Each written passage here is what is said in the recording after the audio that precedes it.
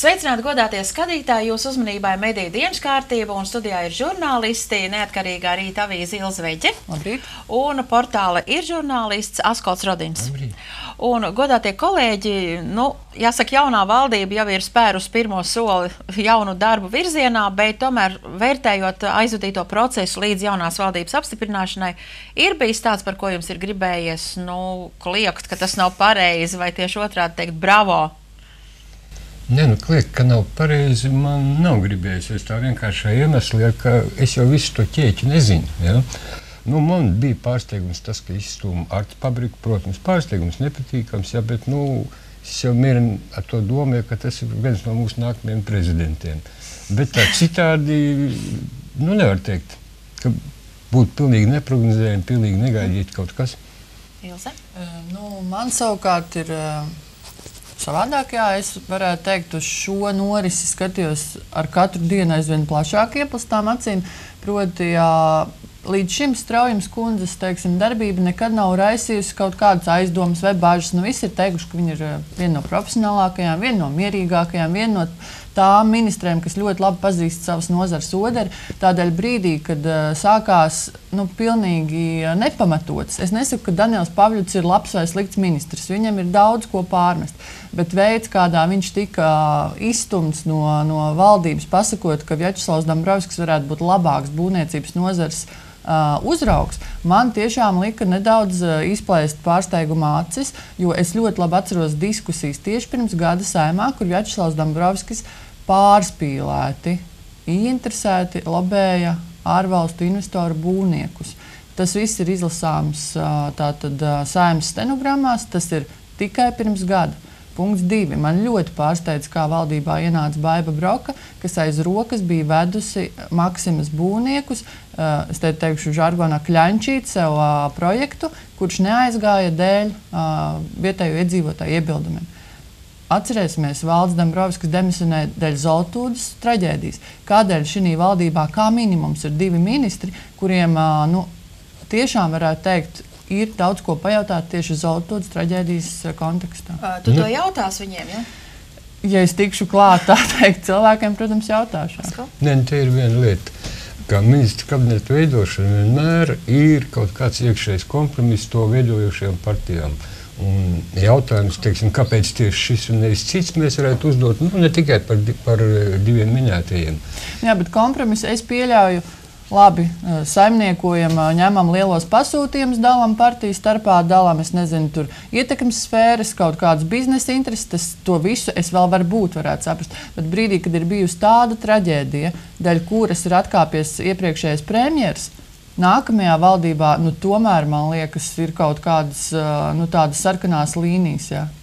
Nē, nu, sarkanās līnijas kļūst jau kaut kā ne nu gluži lamuvārds, bet tuvu tam, jo nu, viss, ko, ko nu varēja pārkāpt, tās ir pārkāptas. Nu, tad mēs nonākam pie nav nedaudz dīvains valdības veidošanas modelis. Nē, nu, jāņem vērā, ka tā ir pagaidu valdība, par kuru mēs droši zinām, ka nu, tur, ja nekāda brīnuma nenotiks, viņi nostrādās līdz vēlam rudenim. Nu, ja notiks, tad, tad mazāk. Nu, man savukārt vienmēr ir bijis nedaudz tā ironiski dzirdēt par uh, terminu pagaidu valdība. Valdība ir un paliek valdība. Valdībai ir un paliek resursi pieņemt lēmumus, virzīt procesus, un kā mēs zinām, arī 31. decembrī bieži vien pusstundas laikā tiek pieņemti lēmumi, kas ir izdevīgi partijām vai partiju cilvēkiem. Tādēļ deviņi mēneši ir pietiekoši liels laiks, lai strādātu un izdarītu to, kas ir jāizdara. Jā, valdībai vienmēr ir jau, es saku, pēc dažādiem plāniem. Uh, ilgtermiņa nodomu, un tie ir jāīsteno, uz tiem ir jāiet. Tā kā valdība ir valdība. Jā, patiešām. Bet uh, varbūt skatāmies uz startu. Tagad tas bija līdz startam, tagad ir spērti jau pirmie soļi, pirmās intervijas. Jau jūs arī droši vien saimā esat runājuši ar jaunajiem ministriem. Kāds iespējas? Par ko runājāt? Nē, nu, es tā pārāk daudz runāju. Es neesmu, ja, ja, ja godīgi, ja, bet o, cilvēki nav no plaukta nokrituši. Ja. Teiksim, nu, par to pašu baidu broku es nezinu, ja, nav, nav gadījies. Ja. Bet ar ko nu gadījies saskarties? Nu, cilvēki nav no plaukta nokrituši. Zina savu lietu. Apmēram tā, viņi zina, kas ir jādara, viņi zina arī kaut kādas savu nu, iespēju robežas. Ja, un, tur nav neviena, kas Vismaz Kaut kāds- profesionāli vērtēt. tad? Pietiekami, jā. Nav, nav tādu gaisa pīļu būvētāju. Nu, es tagad atnākšu, nu, tagad būs. Nu, ja ne revolūcija, tad pusrevolūcija. Tā nav. Es savukārt tas, ko man ir izdevies piedzīvot pēdējās nedēļas divu laikā, ir pirmkārt, ka Strāmas kundze nu pat ir nenot, klīstošais holandietis, nenotveramā, jo, jo, jo ir bijuši jau vairāk gadiem gan man, gan kolēģiem, kad īsti nevar ar viņu sarunāt, nu, teiksim, ar viņas palīgiem, varbūt, kas vēl nav iešūpojušies īsti precīzi laikus un, un sarunām, bet es ticu, ka uh, viss notiks un, un ar premjerministru varēs aprunāties savukārt par pārējiem ministriem. Uh, jā, jāpieklī, jā, jāpiekrīt Askodam, ka vairums no, šo, uh, no šiem cilvēkiem ir uh, tiešām jau sevi apliecinājuši, arī tostarp ministru posteņos. Ir cilvēki, kuru piemērotību es konkrētajam amatam es galīgi neapšaubu. Ja? Ir cilvēki, kam tomēr būs sevi jāpierāda, un tas noteikti varētu būt arī uh, Vējoņa kungs, kuram aizsardzības nozara tomēr ir nu, galīgi svešs, acīm redzot. Bet nu, jācer, ka tas, ka viņš savulaik jau ir sēdējis citas ministrijas krēslā, viņam varētu palīdzēt. Nu, Nu, kā? es varu piebilst tikai to, ko es esmu teicis nu, patiesībā vairāk kārt. Ja, ka, lai strādātu ministra amatā, galvenais tomēr ir kaut kāda kaut vai minimāla pieredze un administratora dotuma. Jo teiksim, tam pašam aizsardzības ministram nav jālien zem tanka. Jā, nē, protams, savu viņam ir komandu. jābūt pirmām kārtām ļoti labam menedžerim, un otrām kārtām ļoti, la, nu, es domāju, ir ļoti labi jāpārzina konkrētā sfēra, tādā globālā redzējumā. Nu, viņam nevajadzētu jautāt, piemēram, ja vējoņa kunga gadījumā, ar ko Nacionālajie bruņotie spēki, teiksim, es nezinu, at, atšķirās no kaut kādām tur atsevišķām misijām, vai, vai ar ko atšķirās dažādas pakāpes, pulkvedis vai, es nezinu, ģenerālis. Ja? Nu, kad vilks ārā zemūdeni ronas. Jā, bet eh, nu, nu, neatkarīgajā es, eh, man piesaistīja viens virsraksts, eh, psihoterapeits vērtē. Sievietes politiku padara necaurspīdīgu. Lūk, ja po publiskā politikā ir liels daudzums sieviešu, ar ko mēs arī šobrīd varam lepoties, teiksim, Latvijā, tad tas nozīmē, ka galvenā lemšana notiekot kaut kur citur. À, tas ir mājiņš par tām intrigām. Ja? Uh, es, es nezinu, tiešām, vai tas tā varētu būt, bet uh, ir viens, uh, protams, bet. Uh, Salvita Abotiņa, nu, manā subjektīvajā vērtējumā, ir viena no tām sievietēm, kas ir pierādījusi, ka sievietes māca saimniekot skal, pēc skaldu un valda principa. Ļoti dzelžaini, ļoti strikti, uh, arī valdonīgi dažkārt. Un mani, teiksim tā, pagaidām tikai dara bažīgu vien, vien, viena nianse no Straujas kundzes retorikas, proti, uh, mū, jūs un mūsu kolēģi no Latvijas televīzijas bija uzaicinājuši viņu uz, uz uh, rīta panorāmu studijā. Un uh, iesāka tēmu, ko varēja redzēt, ka Strāmas kundzei īsti viņa nav tīkama. Proti, tika pieminēts, ka Vjačeslavs Dombrovskis, būdams Saimnes tautsājumniecības komisijas vadītājs, nu, tur ar to būvniecību tā, tā, tā, tādas dīvainas lietas uh, ir notikušas. Un uh, brīdī, kad tika uzdots jautājums Strāmas kundzei, viņa nedaudz sapūtās, un tad viņa teica, Dombrovskis būs ministrs. Un Klusums ēterā. Tā tad uh, no šīs, un es to esmu dzirdējis, ka Strāmas kundze ir ļoti uzstājīga, ļoti, teiksim, uh, pastāv uz savu viedokli.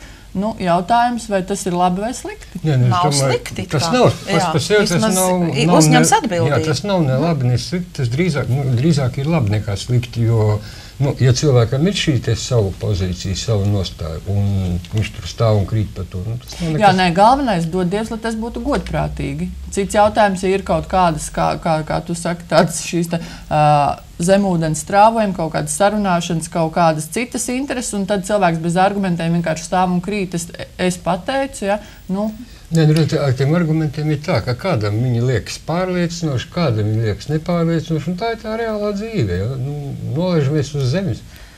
Jā, nu, jūs jau, protams, sekosiet līdzi, un katru reizi, uh, esot saimā, droši vien uzzināsiet kaut ko jaunu, par ko caur jums mēs uzzinā, uz, mūs, uzzinās arī mūsu skatītāji, varbūt nianses un aizkulisēs dažām lietām un jautājumiem, kas vienmēr ir interesants un daļrunīgs dažreiz. Bet vakar arī saimā runāja par, uh, bija ārpolitikas debats, vai ne? Un tur uh, gar un plaši ir runāts arī par situāciju Ukrainā. Uh, Es sekoju līdzi notikumiem ar bažām, jo man tas atgādina drusciņu barikāžu laiku.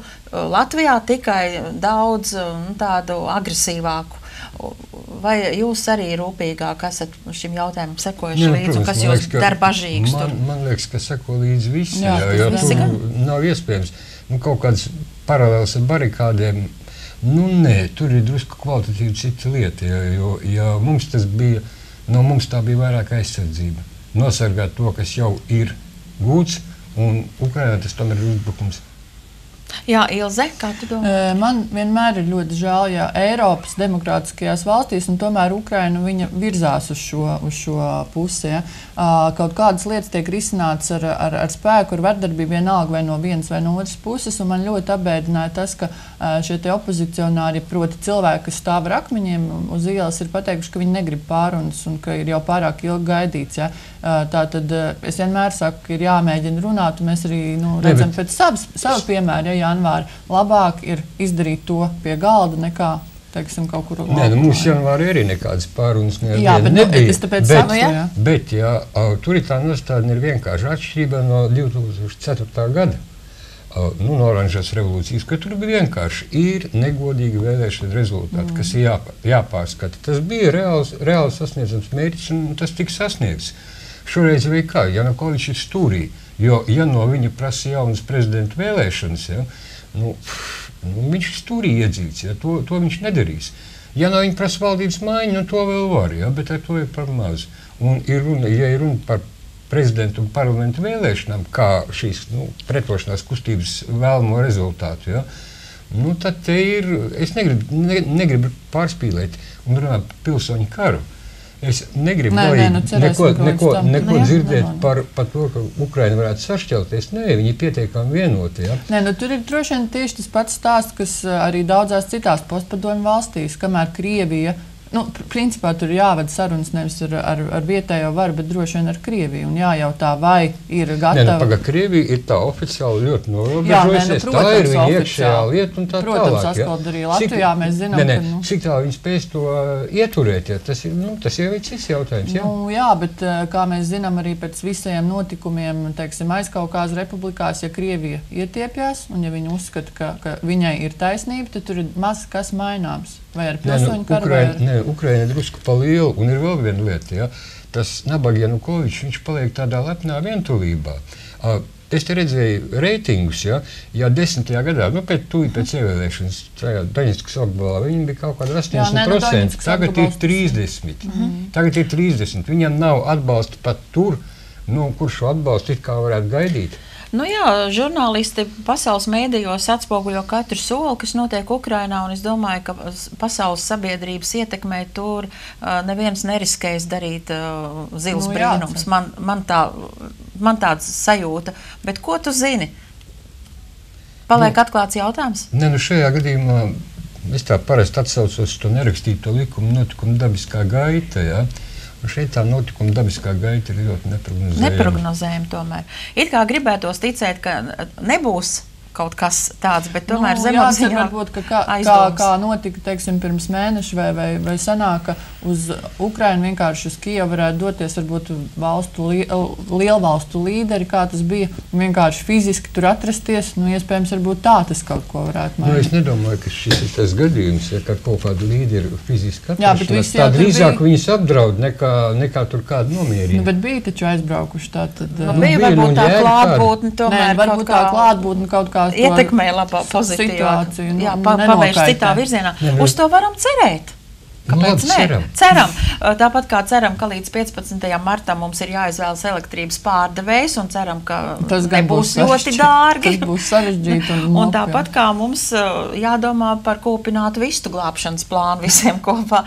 Bet Jā, šis jau... vairāk jāpērk. Bet šis jautājums laikam paliek mums atklāts, un par to tad tīri sadzīviskām lietām, gan par elektrību, gan par uh, kūpinājumiem un benzopirēniem šprotēs, mēs varēsim vairāk varbūt runāt nākamreiz. Vai ne? Žēl. Labi. Labi, paldies, ka skatījāties. Paldies, ka bijāt kopā ar mums. Tā bija mēdīņu dienas kārtība. Vislabāk! Vislabāk!